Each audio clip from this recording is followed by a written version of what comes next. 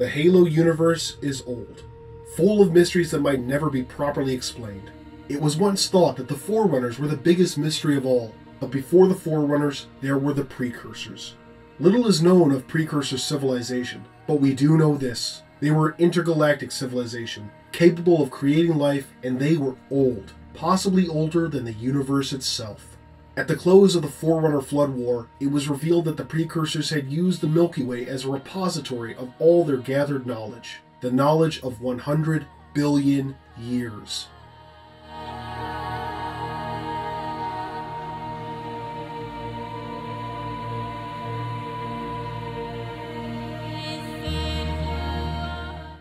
The precursors have existed for unknown eons, often in different forms and at different levels of technological achievement, but always present.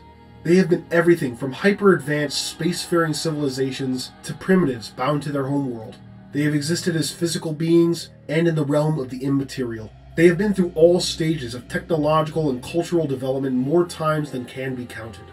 The precursors were the holders of the mantle, a philosophy that held all life as sacred and believed in the concept of living time, the joy of life's interaction with the cosmos, as the Forerunners would later put it. Another concept, called neural physics, was core to the precursor technology and philosophy. Technology created with this science could withstand the forces of time in a way not thought possible. Precursor structures would stand for millions of years, being cycled through a planet's natural tectonic forces, only to re-emerge unscathed. Millions of years in the past, the precursors were inhabiting the Milky Way and bringing light to the stars. The precursors would raise dozens or perhaps hundreds of species across the galaxy. These species, when it was determined that they were ready, would be tested to see if they were worthy of inheriting the mantle of responsibility.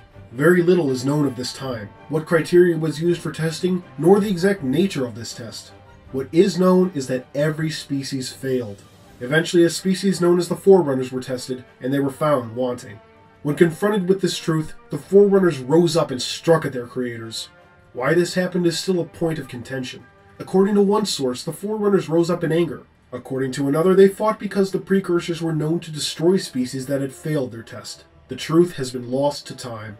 What is known is that the Forerunners hunted the Precursors to near extinction, causing the Precursors to flee to a nearby satellite galaxy, the Large Magellanic Cloud. However, the Forerunners pursued. With the majority of their civilization remaining in the Milky Way, a Forerunner fleet was sent after the fleeing Precursors. With their species seemingly at an end, the Precursors took to extreme measures, some sealing themselves in stasis pods, while most reduced themselves to a powdered form, that they might be resuscitated at a later date. With their campaign of extermination seemingly at an end, the forerunners of the pursuing fleet killed themselves, ashamed of their crime. With no way to know the truth, the forerunners that had remained in the Milky Way forgot the nature of their creation, and life moved on. In time, the precursors and the forerunner trip to the large Magellanic Cloud faded into legend. The precursors came to be thought of as enigmatic creators, beings beyond comprehension that had seeded life in the galaxy, passed the mantle on to the forerunners, and then moved on. The truth would remain buried in the past for millions of years until two civilizations came to arms and a new precursor legacy would be brought to light.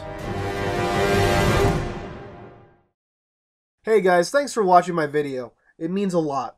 If you like this video, please give it a thumbs up, subscribe, and maybe share it around on whatever social media you choose. Your support is greatly appreciated. I cannot stress that enough. Thanks for watching.